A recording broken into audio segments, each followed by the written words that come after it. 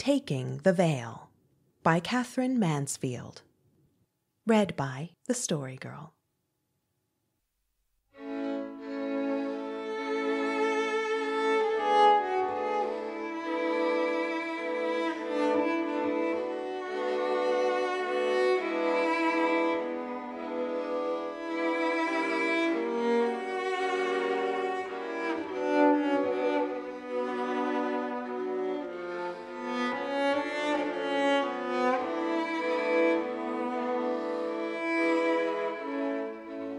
It seemed impossible that anyone should be unhappy on such a beautiful morning. Nobody was, decided Edna, except herself. The windows were flung wide in the houses. From within there came the sound of pianos. Little hands chased after each other and ran away from each other, practicing scales. The trees fluttered in the sunny gardens all bright with spring flowers. Street boys whistled. A little dog barked. People passed by, walking so lightly, so swiftly. They looked as though they wanted to break into a run. Now she actually saw in the distance a parasol, peach colored, the first parasol of the year. Perhaps even Edna did not look quite as unhappy as she felt. It was not easy to look tragic at eighteen, when you are extremely pretty, with the cheeks and lips and shining eyes of perfect health. Above all, when you are wearing a French blue frock and your new spring hat trimmed with cornflowers. True, she carried under her arm a book bound in horrid black leather. Perhaps the book provided a gloomy note but only by accident. It was the ordinary library binding. For Edna had made going to the library an excuse for getting out of the house to think, to realize what had happened, to decide somehow what was to be done now. An awful thing had happened. Quite suddenly, at the theater last night, when she and Jimmy were seated side by side in the dress circle, without a moment's warning. In fact, she had just finished a chocolate almond and passed the box to him again. She had fallen in love with an actor. But fallen in love. The feeling was unlike anything she had ever imagined before. It wasn't in the least pleasant. It was hardly thrilling unless you can call the most dreadful sensation of hopeless misery, despair, agony, and wretchedness thrilling. Combined with the certainty that if that actor met her on the pavement after, while Jimmy was fetching their cab, she would follow him to the ends of the earth, at a nod, at a sign, without giving another thought to Jimmy or her father and mother or her happy home and countless friends again. The play had begun fairly cheerfully. That was at the chocolate almond stage. Then the hero had gone blind. Terrible moment. Edna had cried so much she had to borrow Jimmy's folded, smooth feeling handkerchief as well. Not that crying mattered. Whole rows were in tears, even the men blew their noses with a loud trumpeting noise and tried to peer at the program instead of looking at the stage. Jimmy, most mercifully dry eyed, for what would she have done without his handkerchief? Squeezed her free hand and whispered, Cheer up, darling girl. And it was then she had taken a last chocolate almond to please him and passed the box again. Then there had been that ghastly scene with the hero alone on the stage in a deserted room at twilight, with the band playing outside and the sound of cheering coming from the street. He had tried. Oh, how painfully, how pitifully, to grope his way to the window. He had succeeded at last. There he stood holding the curtain, while one beam of light, just one beam, shone full on his raised, sightless face, and the band faded away into the distance. It was. Really, it was absolutely. Oh, the most. It was simply. In fact, from that moment, Edna knew that life could never be the same. She drew her hand away from Jimmy's, leaned back, and shut the chocolate box forever. This, at last, was love. Edna and Jimmy were engaged. She had had her hair up for a year and a half. They had been publicly engaged for a year but they had known they were going to marry each other ever since they walked in the botanical gardens with their nurses and sat on the grass with a wine biscuit and a piece of barley sugar each for their tea. It was so much an accepted thing that Edna had worn a wonderfully good imitation of an engagement ring out of a cracker all the time she was at school. And up till now they had been devoted to each other but now it was over. It was so completely over that Edna found it difficult to believe that Jimmy did not realize it too. She smiled wisely, sadly, as she turned into the gardens of the convent of the Sacred Heart and mounted the path that led through them to Hill Street. How much better to know it now than to wait until after they were married. Now, it was possible that Jimmy would get over it. No.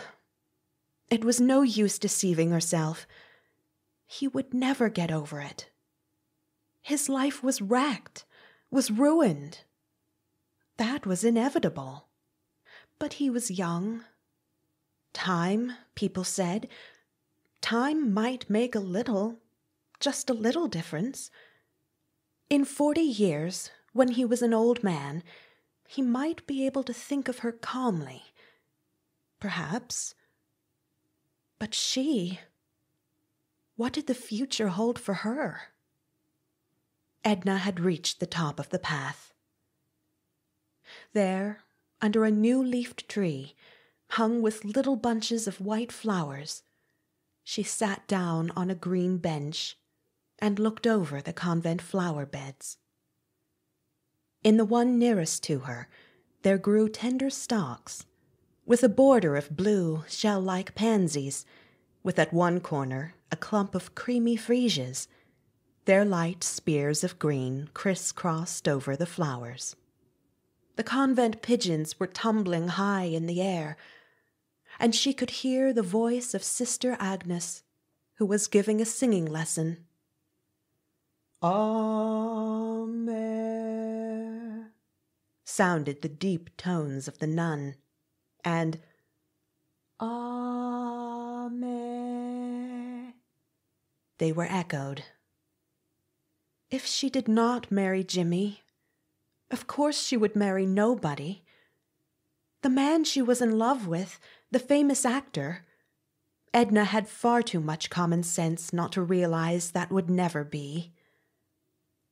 It was very odd she didn't even want it to be. Her love was too intense for that. It had to be endured, silently. It had to torment her. It was, she supposed, simply that kind of love. But Edna, cried Jimmy, can you never change? Can I never hope again? Oh, what sorrow to have to say it, but it must be said. No, Jimmy, I will never change. Edna bowed her head, and a little flower fell on her lap, and the voice of Sister Agnes cried suddenly, Oh, no. And the echo came, Ah, At that moment, the future was revealed, Edna saw it all. She was astonished. It took her breath away at first. But after all, what could be more natural? She would go into a convent. Her father and mother do everything to dissuade her in vain. As for Jimmy, his state of mind hardly bears thinking about. Why can't they understand? How can they add to her suffering like this? The world is cruel, terribly cruel. After a last scene when she gives away her jewelry and so on to her best friends, she so calm, they so broken hearted. Into a convent she goes. No, one moment. The very evening of her going is the actor's last evening at Port Willin. He receives by a strange messenger a box. It is full of white flowers. But there is no name, no card. Nothing? Yes, under the roses, wrapped in a white handkerchief, Edna's last photograph with, written underneath, The world forgetting, by the world forgot. Edna sat very still under the trees. She clasped the black book in her fingers as though it were her missal. She takes the name of Sister Angela. Snip, snip. All her lovely hair is cut off. Will she be allowed to send one curl to Jimmy? It is contrived somehow. And in a blue gown with a white headband, Sister Angela goes from the convent to the chapel, from the chapel to the convent with something unearthly in her look, in her sorrowful eyes, and in the gentle smile with which they greet the little children who run to her. A saint! She hears it whispered as she paces the chill, wax smelling corridors. A saint! And visitors to the chapel are told of the nun whose voice is heard above the other voices, of her youth, her beauty, of her tragic, tragic love. There is a man in this town whose life is ruined. A big bee, a golden furry fellow, crept into a freesia, and the delicate flower leaned over, swung, shook. And when the bee flew away, it fluttered still as though it were laughing. Happy, careless flower. Sister Angela looked at it and said, now it is winter. One night, lying in her icy cell, she hears a cry. Some stray animal is out there in the garden a kitten or a lamb or, well, whatever little animal might be there. Up rises the sleepless nun. All in white, shivering but fearless, she goes and brings it in. But the next morning, when the bell rings for matins, she is found tossing in high fever, in delirium, and she never recovers. In three days, all is over.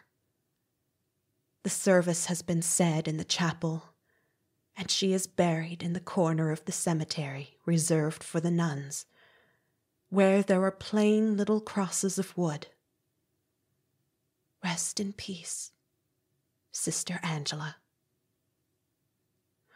Now it is evening.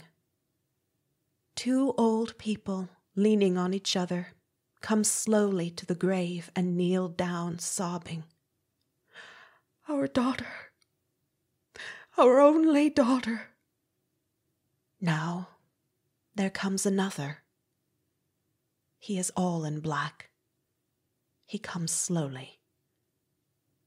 But when he is there and lifts his black hat, Edna sees to her horror his hair is snow white.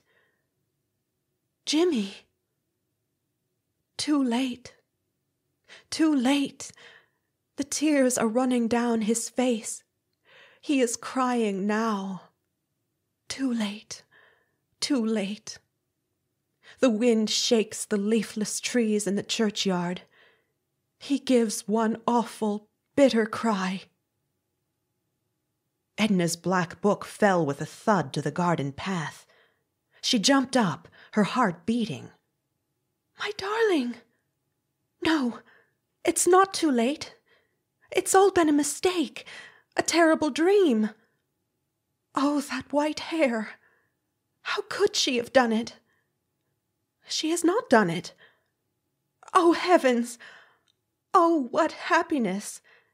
She is free, young, and nobody knows her secret. Everything is still possible for her and Jimmy. The house they have planned may still be built. The little solemn boy with his hands behind his back, watching them plant the standard roses, may still be born. His baby sister. But when Edna got as far as his baby sister, she stretched out her arms as though the little love came flying through the air to her, and gazing at the garden, at the white sprays on the tree, at those darling pigeons blue against the blue, and the convent with its narrow windows.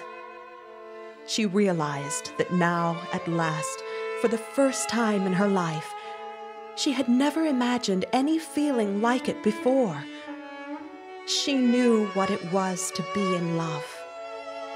But in love.